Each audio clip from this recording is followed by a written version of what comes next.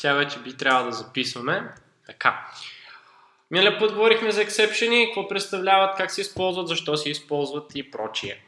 Изучихме основните неща с OOP и вече трябва да тръгнем да правим пълни функционални интернет приложения, както би трябвало да се правят правилно, сравнително правилно, тъй като в програмирането няма 100% правилни неща. Така, значи, принципно ОП, как, каква му беше целта в крайна сметка? Всъщност, какво е ООП? Да тръгнем от... Окей, обектно ориентирано програмиране. Това какво ще рече? Кой е базовият елемент в ООП? Обектите, точно така. И каква е тяхната цел? Каква е целта на обектите? И каква е целта на обектно ориентираното програмиране? Един вид да ни сортират нещата по-добре, да имаме по-добра организираност на кода. И да не пишем много код. Да, ние какъвто и стил на програмиране да пишем, не трябва да повтаряме код. Защото това е нарушение на правило номер едно. И какво беше правило номер едно на програмиста? Don't repeat yourself. Я да видим какво излезе като напишем don't repeat yourself. Ето, в софтуерното инженерство don't repeat yourself е принцип, софтуерно бла бла бла бла бла бла, в който се избягва повтарянето на код и така нататък. Та, идеята е да не повтаряме код. И един от начините да не повтаряме код е като пишем OP. Значи, за да не повтаряме код, не е необходимо да пишем OP. Можем това да го правим на процедурен. Но OP-то просто ни дава структурираност на приложението и когато то бива развивано, много по-ляко и OP му предлага много по-добра поддръжка като цяло. И когато тръгнете работите в екип, ще видите, че с OP проекти доста по-лесно се менежират. Да, зависи от вас като програмисти, тъй като един кадърен програмист може да направи едно процедурно приложение, а, нали, едно приложение написано процедурен код да бъде много по-лесно управлявано, отколкото един некадърен програмист, който да напише OP код. Просто е така. OP програмиране не е просто да пишем класове и обекти. ОП всъщност е начин на мислене, как структурираме самият код. Добре, казахме какво са свойства, какво са методи, какво са public, private, protected, казахме какво е наследяване, казахме какво са интерфейсите, казахме какво представляват, за какво друго сме говорили. Ексепшените и още взето това са най-най-най-базовите неща в ООП, които вие трябва да знаете за да пишете ООП. И всъщност сега продължаваме към един много важен принцип, който се казва Model View Controller. Значи Model View Controller, ако проверите в Wikipedia, това е архитектурен шаблон, с който се имплементират потребителски интерфейси. Той е направен така, че да имаме три свързани части на приложението. Като тези три части са модел, т.е. модел, view и контролер. И всъщност сега ще видим всяко едно нещо какво представлява. Всеки един от тези три компоненти какво представлява. Всъщност MVC е точно съкръщение от модел View Controller. И MVC всъщност е взаимодействието на тези три елемента. MVC разграничава тези три елемента и определя тяхното взаимодействие. Така. Три са тези компоненти в MVC. Модел, View и контролер. Контролерът, всъщност контролерът, а, контролер. Как, как разбирате на български думата контролер? Какво прави контролера според вас? Контролирате. Значи контролерът, неговата цел като цяло е да приема някакви неща от потребителя да казва да бъдат обработени тези неща и да ги вземе. Това е все едно, а, не знам все едно. Примерно, а, а, примерно, вие сте а, дадена фирма, мисля, че се казваше Project Manager. Приемате дадено нещо от клиента, разбирате той какво иска, изпращате тези неща, които той иска на служители да ги изпълнят и крайният продукт, който служителите направят, го връщате на клиента. Точно това е а, контролерът. Той разбира какво иска потребителя и изпраща тези неща, които иска на потребителя за по-нататъчна обработка. И след като тези неща биват обработени, той ги връща на потребителя. И ето, потребителят, ето тук се вижда, потребителят използва контролерът. Сега, контролерът. Контролерът взима от потребителя и изпраща за обработка. Въпросът е тези неща къде се обработват. Най-правилно е нещата да бъдат обработвани в моделът. Всъщност моделът е мястото, което комуникира с базата ни от данни. Какво ще рече? Примерно потребителят влиза в страница, примерно логин PHP. И казва, аз искам да получа формата за вход. И контролера получава тази заявка, че потребителят иска да види страницата за вход и му връща страницата за вход. Тук дах малко неудачен пример, тъй като засягаме и третия компонент View. Но нека първо да ви кажа той какво представлява. Всъщност, View-то е нещото, това е презентационния слой, т.е. това, което потребителят вижда. И всъщност идеята е, че View-то е това, което потребителят вижда. Примерно, View-то ни е един файл, примерно, с основно HTML код. Основно HTML код. Ни е View-то. И всъщност View-то е този HTML код, който потребителя после вижда, който браузърът му прави ауто. Тоест, начинът по който изглежда. Какво прави контролера?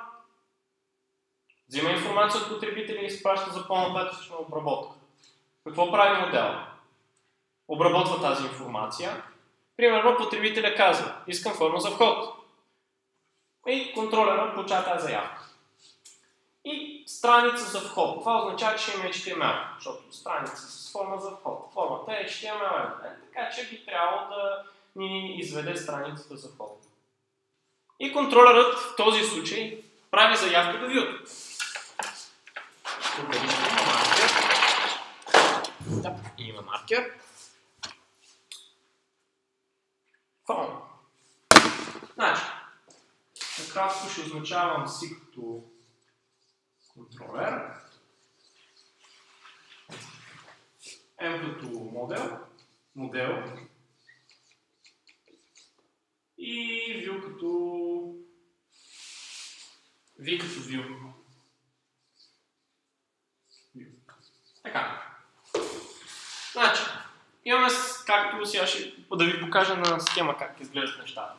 Потребителят, а тук имаме още един елемент. Потребителят прави заявка. Прави заявка. Тази заявка кой я взима? Контролера взима. Тъй като контролера всъщност казва, взима от потребителя казва ти правиш това, ти правиш, ти правиш това, после ми вземете информацията, върнете ми, аз ще я пратя на потребителя. Контролерът взима информация от потребителя. И след това контролерът а, може да викне модел, първо вика модел, ако имаме нещо за работа с база данни или някакви алгоритми. Тези алгоритми биват описани в модела. Малко ще видите какво представляват като код тези вюта контролни модели. А, примерно, а, а, както казах, ако има някакви неща от базата с данни или някакви алгоритми за използване, те биват взети от модела. Контролерът казва на модела, върни ми ги тези неща. Обаче има и маркер, който пише. Няма маркер, който пише, затова ще пише След това моделът връща данните на контролера. Връща данните на контролера. След това с тези данни може да се наложи да бъдат принтирани по някакъв начин, т.е. да бъдат вкарани в нещо, което потребители вижда примерно дадена форма. И затова тези данни биват изпратени към третият елемент, който трети елемент е view. И всъщност в view тези информация бива сформирана под HTML. Тази информация бива прехвърлена на контролера и контролера изпраща това нещо на потребителя в крайна сметка. Обаче трябва да го нагледим по-добре с код, което ще стане след малко. Та, основната идея на MVC е да нямаме месене, да няма а, събиране на логика, HTML и така нататък в един файл. Тоест, модела си грижи за логиката или там контролера, вюто я показва и това е. Основното нещо на MVC е да имаме разделение на логика от изглед. Изгледа какво е? Кой компонент е изгледа? View. Изгледа е view. Логично. А, и да. Принципно вютата са просто едни HTML, т.е. PHP файлове, нали, в повечето случаи, с HTML. А, и още заето те просто взимат информацията, която им е дадена от контролера и обработват. И ето всъщност тази диаграма тук. Казваме, потребителят използва контролерът, контролерът прави манипулации с модела, моделът обработва, обновява някакви неща, изпраща ги към вюто и потребителят вижда вютата, макар че тази схема не е баш така, както трябва да бъде. А, тая статия е хубава в интерес на истината. Значи MVC да ви кажа не е език, това е архитектура. MVC е архитектура. Има и други архитектури. Има... А, тук са описани. Ето, Model View Controller, Presentation Abstract Control, Model View Presenter, Model View Video View Model и така нататък. Принципно тия всичките, доколкото знам, са разработени от Microsoft за тяхната .NET платформа и тези архитектурни модели могат да из... бъдат използвани не в, само в PHP, ами и в различни а, други програмни езици. Да. Окей. Okay. Сега, първото нещо, което е, е как да използваме това Model View Controller. Нека да напишем в PHP MVC. А горе да схванахте ли каква е целта на MVC? Да разделя логиката от HTML. Докато целта на OP каква беше? Да имаме организация на логиката. На всичко да имаме организация. Докато MVC служи разделяне на логика от изгледи. От това, което потребителя вижда. А когато нямаме това разделение, ние пишем спагети код. Ето. Спагети код. А...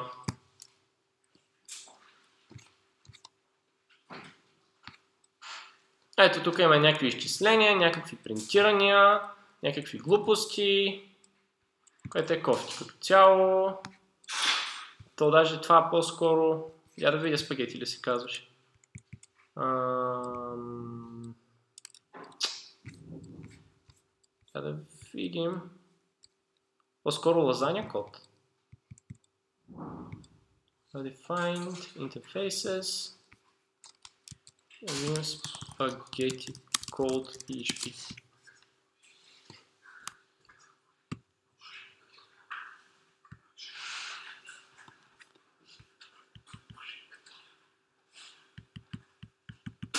Не, спагети код не е баш. Значи е лазаня код. Лазаня код. PHP. И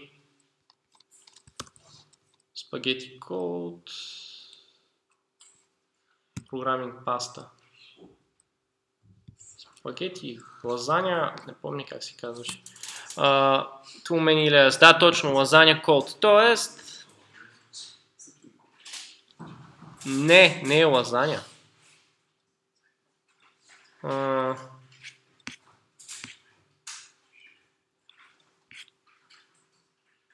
Макарони. Да, макарони код. Макарони беше. Не е спагети, не е лазаня, макарони код. Значи макароните хваща HTML, PHP, ето както е описано тук. Имаме някакъв HTML, не знам колко добре се вижда. Имаме някакъв HTML, тук имаме връзки към бази данни, извличат се някакви данни, някакви кюлерите биват изпълнени и накрая биват принтирани. Това е, както го казах, макарони код. Това е кофти. Макарони код е кофти. Лазаня код е кофти. Всякакъв вид паста код е кофти. Затова ние трябва да си пишем чист код а, и да имаме това разделение, защото после става трудно за поддържане, трудно за четене и е кофти работа.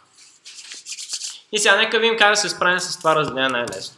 И може да напишем MVC in PHP да видим как големите хора се справят с това. Пишем MVC in PHP и тук има някаква статия от SitePoint, който е много хубав сайт.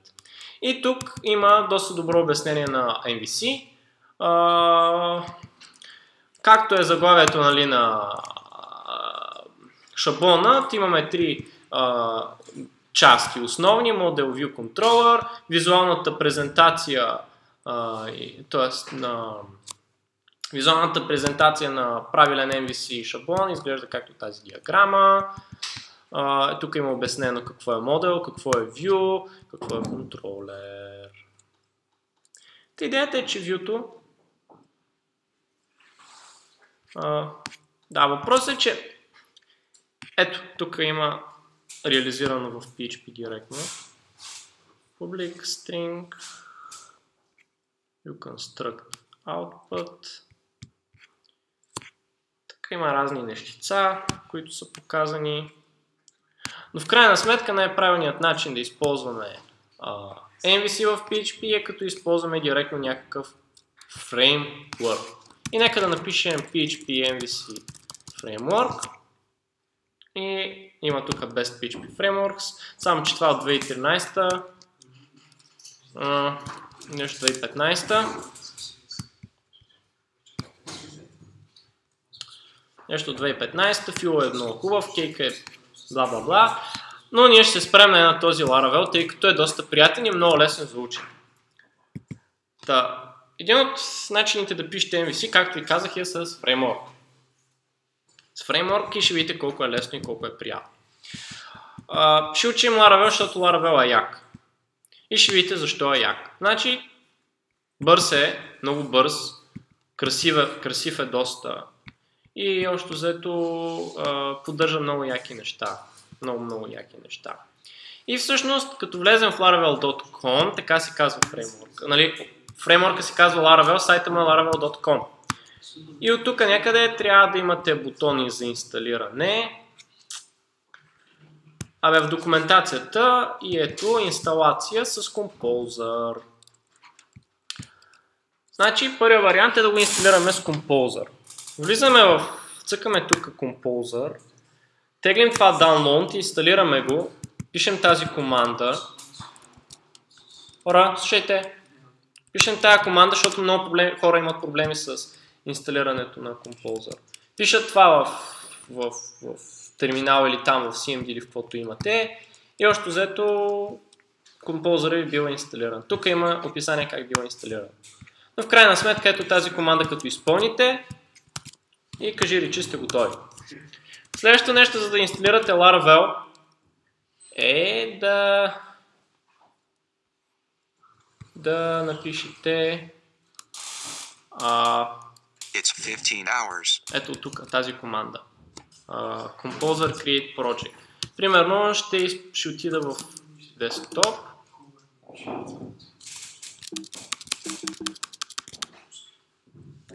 Хайде бе. Ще отида в десктоп и ще направим папката в десктоп. И тук ще поставя ето тази команда Create Project. Laravel, Laravel. Натискам Enter. Той ми създава някакви магии, шашавици, не знам колко се вижда. Използва интернета, инсталира някакви неща, генерира някакви файлове, компилира класове, глупости работи. И в крайна сметка сме готови. И ето тук ни е създадена папка. Сега, девайки в тази папка, ние по някакъв начин трябва да пуснем приложението.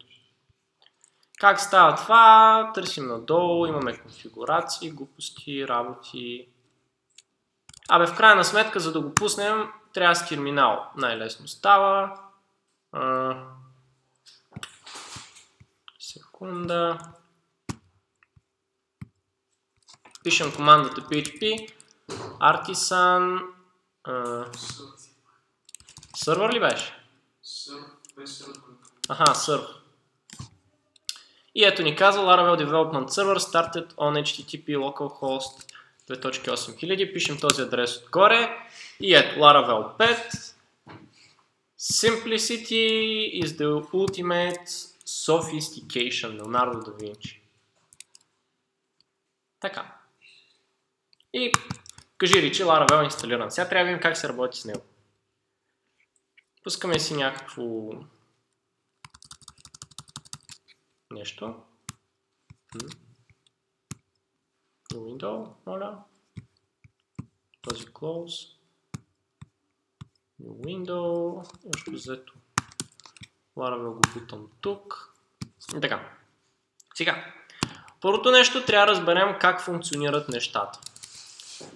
Localhost 8000 ни отваря папката автоматично Laravel наклонена Public.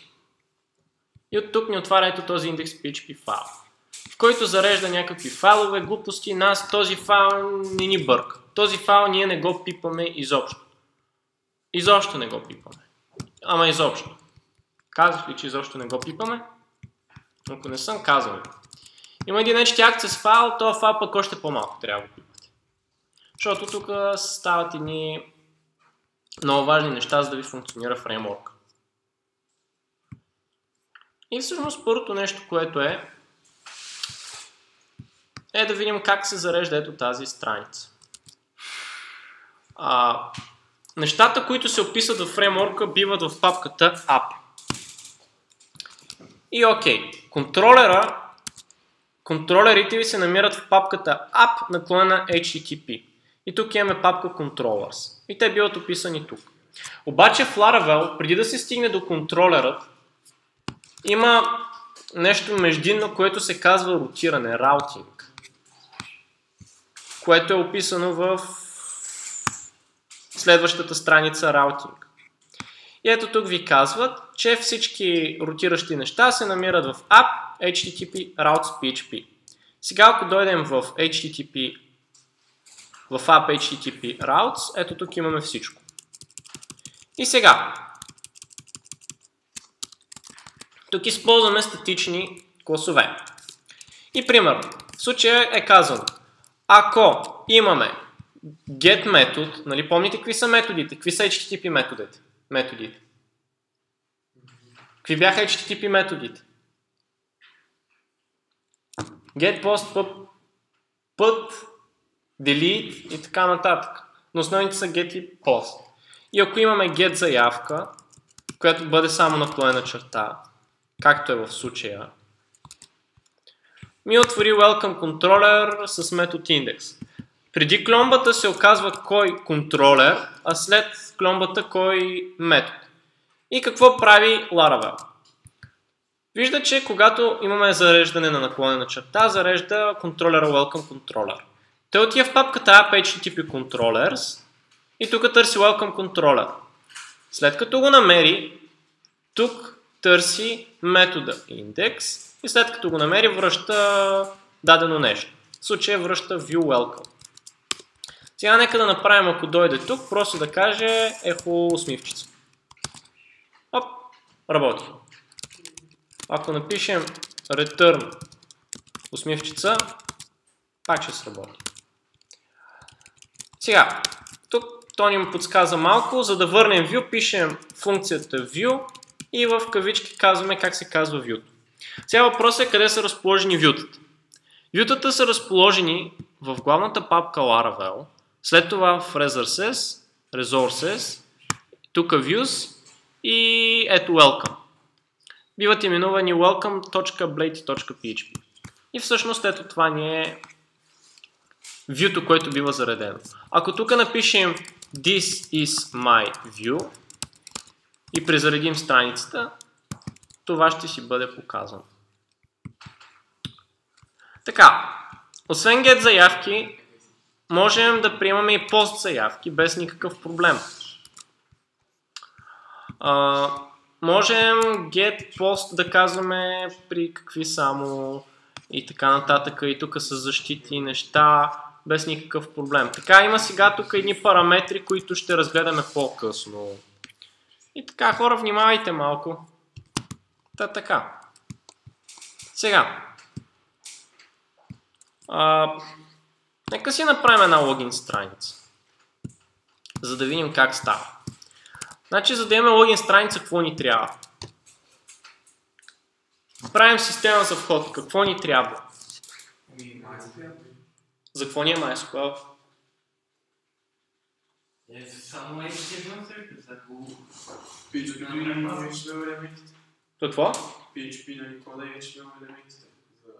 Окей, добре, но като правим система за вход, какво е първото нещо, което трябва да сетим, че ни трябва? База от данни. Защото ни трябва място, на което се съхраняват потребителите. Нали така? И затова си правим една база от данни. Обаче първо трябва да си пусна MySQL Server. Така, New Window, uh, sudo MySQL Server Start. Не, cancel. Добре. Така, влизам си. Тук папка тест. Ние сме правили някакви неща, ама мен не ми трябва това. Абе ще си направим нова база. Която ще я кръстим логин долу на System. Тук в колата си избирахме UTF 8 General CI и натискаме кажи речи Create. Сега, трябва да кажем на Laravel, че използваме тази база данни. И за да видим как се работи с конфигурации, ето тук има една страница с конфигурации. Цъкаме Configuration. И тук казват, всички конфигурационни файлове за Laravel се намират в директорията config. Всяка опция е документирана и още взето в файловете всичко си е описано как се работи. Така. Добре, значи къде се намират конфигурациите, в коя папка? config. Ето. Отиваме Laravel, config. И ето. Според вас кой файл е за база данни? Database. Database. И така. Сега това първото си го оставяме да си така. Тук казваме коя връзка ни е по подразбиране. Laravel поддържа да работим с няколко бази данни едновременно. Но ние ще използваме тази, която е по подразбиране. И по-надолу вече всъщност имаме а, елемент на главният масив. Вижте, конфигурационните файлове връщат масиви. Return масив. Първи елемент е fetch, имаме друг default и тук имаме connections. В connections, в този елемент, имаме описани, а, имаме подмасиви, в които са описани различните връзки. В случая ни трябва единствено връзката MySQL, тъй като ще работим само единствено с нея.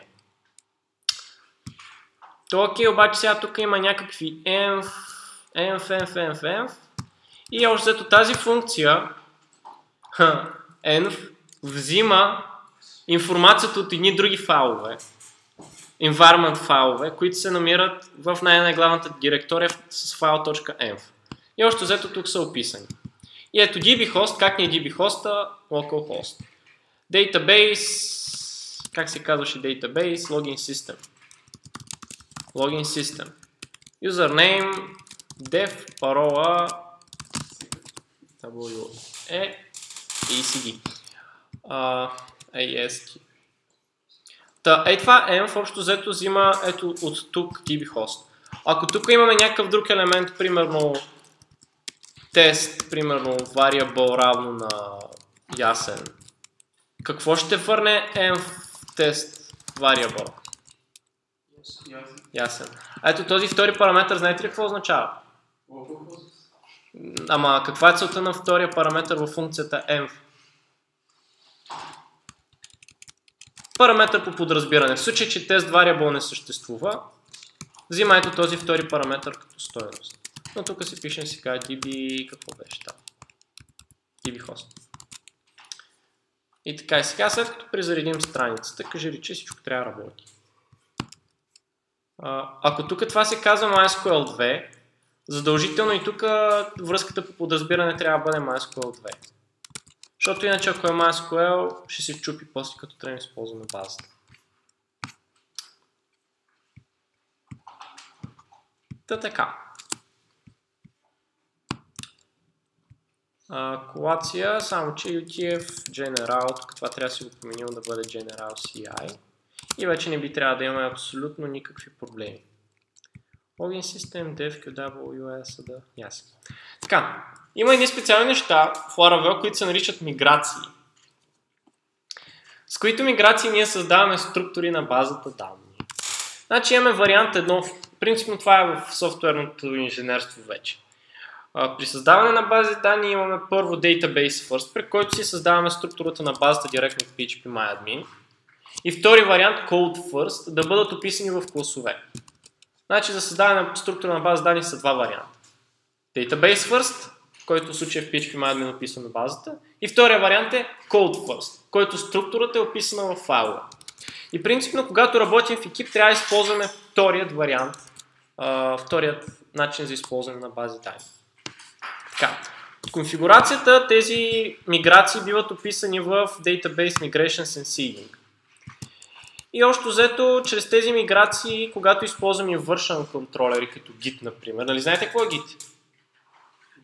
Git е система за управление на версиите на дадено приложение. Взето, като имаме промяна, ние казваме, виж сега, тук съм направил промяна на еди коя си линия, като тази промяна прави еди какво си, еди що си. И като работим примерно 20 души в екип, всички знаят за тази промяна, всички са информирани, тази промяна била синхронизирана с всички и кажи речи по този начин а, с Git а, спомага за а, работата в екип доста. Добре. Та, миграциите са класове, в които бива описана структурата на базата от данни. И за да направим миграция, ето тук има точка Creating Migrations, трябва да използваме ето тази функция Make Migration на Artisan. А Artisan е конзолно приложение на Laravel, което бива автоматично инсталирано. И за да го отворите, просто отваряте терминал в папката ви с проекта и пишете Artisan. PHP Artisan, pardon. Пишете PHP място Artisan. И още взето тук ви биват описани всички функции, които Artisan има. Не знам колко добре се вижда. И за да създадем миграция, копираме тази команда php artisan make migration. И примерно името на миграцията, примерно create user table. И ето тук ще каже created migration и миграцията бива създадена. Според вас, гледайки тези а, 6, 7, 8 папки, в коя папка се намират миграциите? Виж, тук. Къде се намират според вас миграциите? В коя тези папки? 8 папки. 7. 9. В коя папка според вас се намират миграциите?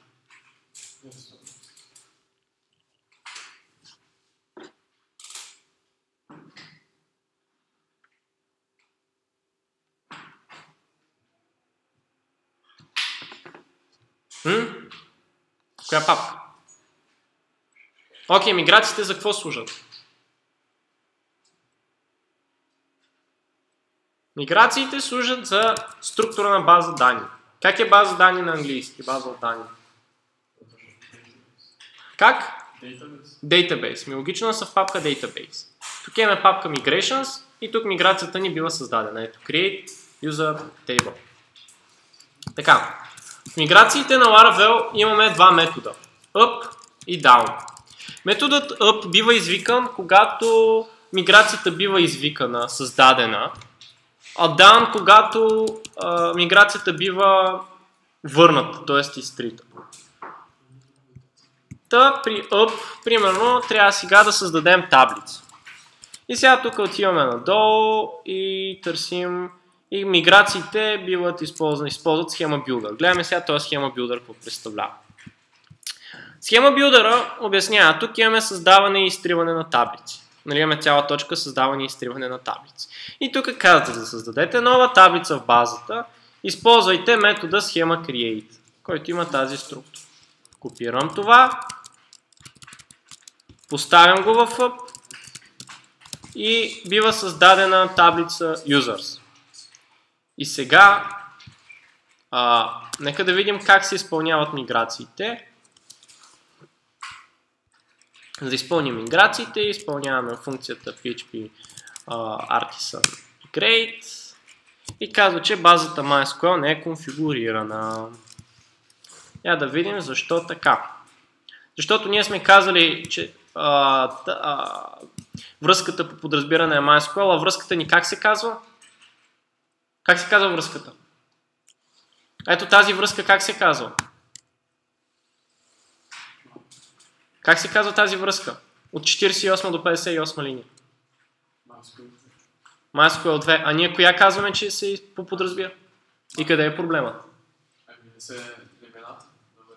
Да, тези две имена трябва да съвпадат. И просто това трябва да го сменим на MySQL, тъй като преди малко сме пропуснали. И сега като изпълним нещата, общо взето ще си каже, че хвърля MySQL грешка, че таблицата users вече съществува. Ами в такъв случай нещо сме объркали. Отиваме в Login System.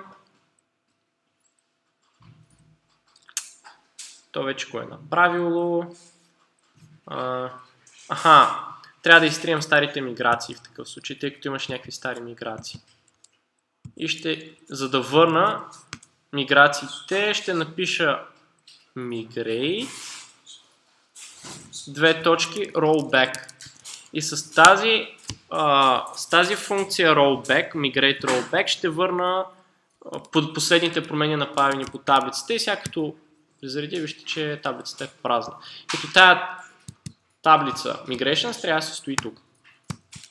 Ето тези по подразбиране ще ги изтрия, които ми бяха и ще оставя само тази миграция, която аз си създавам. Та така. Сега изпълнявам migrate и казва мигриране файла create user table. И сега като си отворя структурата на базата, не знам колко се вижда, имаме таблица users. Ако отидем на структура, виждаме, че users имаме ID. И ето сега като дойдем в кода, ще видим, че сме казали създай таблица users, като с една колона ID, която е auto increment. Сега, какво ни трябва обаче за потребителя? Освен ID, какво друго ни трябва? Какво друго ни трябва за потребителя? Така, username. Username какво е? String, нали така? Тоест, еднолинейен string. Затова използваме table string. Table string, примерно username. Като username ще бъде с максимална дължина, примерно 50 символа. И как, коя друга колона казахте? Парола. А, string пасворд. На пасворд няма да даваме максимална дължина. И така. И сега, как се връщаха, с коя команда се връщаха миграциите? С rollback. Обаче сега нищо не би трябвало да изпълни. Абсолютно нищо не би трябвало да изпълни. Ето user си стои. Като когато извикваме rollback, от файлът бива извикан метода down, в който нямаме нищо. И тук просто трябва да изтрием а, таблицата users. И ето пак създавам rollback, nothing to rollback. Сега нещата се щупиха и трябва ръчно да изтривам. И ще напиша migrate. Така, бива създадено, обаче при rollback. Ето сега ни го изтрил. Тоест, кога бива извикана функцията, метода up? Метода кога бива извикан? Хора, методът up кога бива извикан? Този метод кога бива извикан? При извикване на artisan migrate. А dan кога бива извикан? При migrate rollback. Това са неща, които с практиката ще ги научите. Но трябва да ги знаете. Защото на изпита ще ги има. Та така. След като бива създадена таблицата users Имаме структура, ето има ID, username, password. Има едни неща, които също е хубаво да ги вмъкнем, които са кога е редактиран последно, ала бала и така нататък. И всъщност това са е с тази с метод timestamps. И слагаме table timestamps. Биват създадени автоматично created at и updated at колони. И тъй като имаме потребителско, тъй като се занимаваме с потребители, ще сложим едно remember token, което по-късно ще разберем с какво се използва. И сега всъщност просто правя rollback, пак създавам таблицата и тук като натисна structure имаме username, password, remember token, created at и updated at. И общо взето таблицата ни с потребители е готова. Сега трябва да видим как да използваме тези потребители. Нека ето тук да си напишем един тестов route, route get и тук директно да си изпълним един код да видим какво става. Да изпълним едно query. Значи тук, когато пишем select query, използваме метода select. Това е описано в, в ето тук в services, не в services, database, basic usage. И тук казват за, за конфигурациите какво представляват. И ето, когато изпълняваме select query, използваме функцията select, като тя връща масив с резултати. Тоест, когато изпълним select, примерно select all from users, като users е в кавички, от тези специалните. И на това като му дам, примерно, varda, при заредя страницата, а, ще ми хвърли, че нещо се чупи, защото се опитва никакви глупости да направи. Access denied for home state. Нека да видим какво това homestead. Това го трия. To trash. Environment не би трябвало вече нещо да се чупи. А, не би трябвало, обаче се чупи.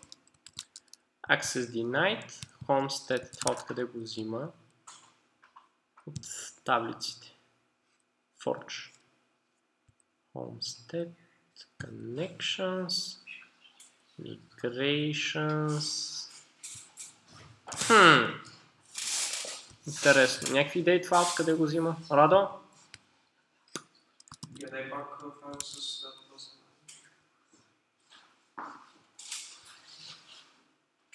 Ето. Не, тук няма homestead никъде.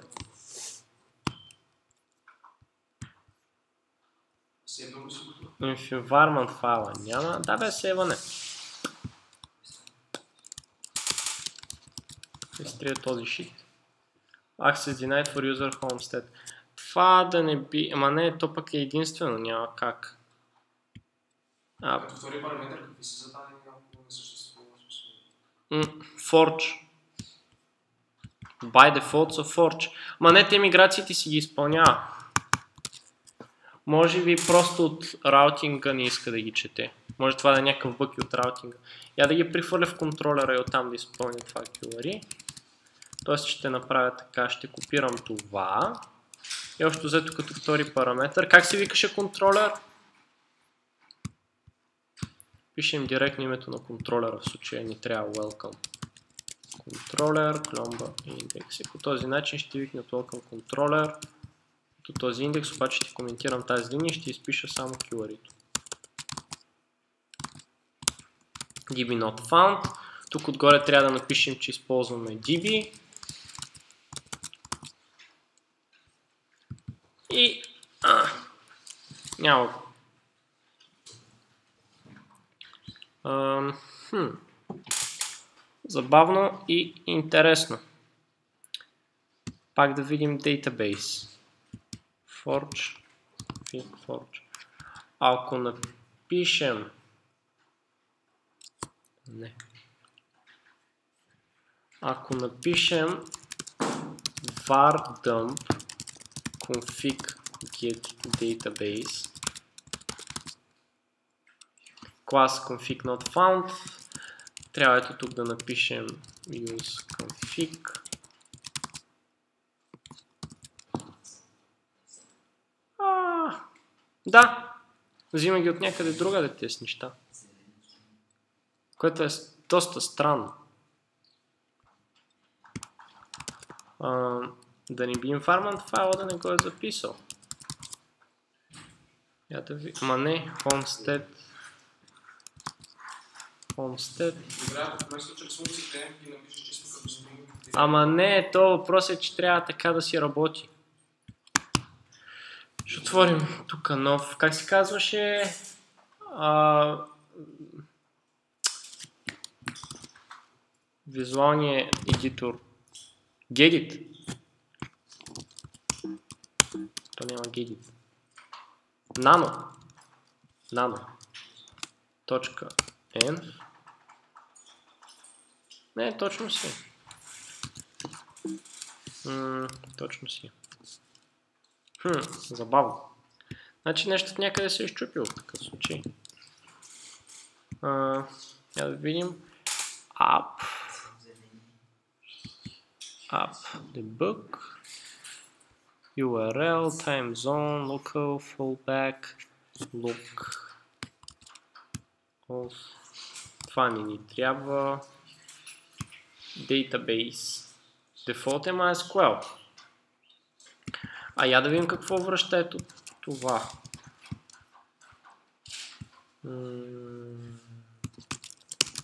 Var dump environment. А, връща Homestead.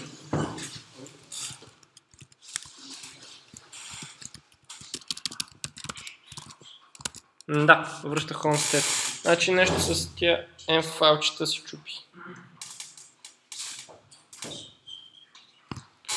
А да видим в такъв случай как се взимат конфигурациите. App, other configuration, environment.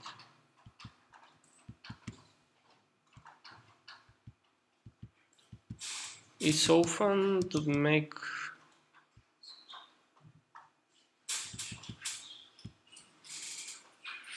If you install this file, otherwise you should rename the file manually. All the variables, however, shouldn't be committed to you.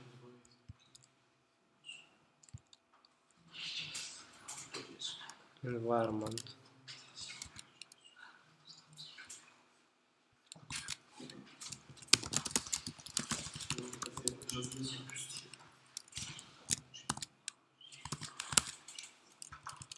Така не мога да го взема. Application installs. Application app.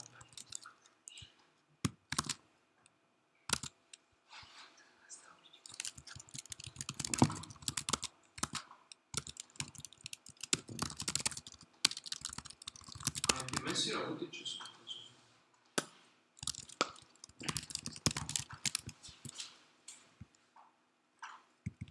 Continue. Application class doesn't exist. Environment. Така това не ми го връща. Хм. Точка env. Може би нещо при кеширането се е щупило. Добре, де сега тия environment файлове ги оставяме и директно ще си го хардкоднем. Следващия път ще ви кажа какво се е щупил, ще си направя труда вкъщи да погледна. Точно взето сега от тук, от хоста директно тук си ги хардкодваме, т.е. си ги пишем директно тук нещата, няма да използваме environment, за съжаление login system, потребителско име е dev, парола WEASD, обновявам, welcome controller, тези глупости ги махам, select и ето, връща ми празен масив. Айде сега ми кажете как да създам потребител. Значи използваме dibinsert. Това е описано в документацията в Basic Usage и казват, когато пишем апдейти, т.е. инсърти, пишем db insert, като в крайна сметка ни връща ID. Сега как да вмъкнем потребител? MySQL командата беше insert into users. Тук пишем кои колони. В случая колоните username, колоната password, колоната това са колони, които ни трябват, с стойности. Сега тук пишем въпросителни и като втори параметр на метода insert казваме какви ще са. Примерно ясен с парола QWE ASD.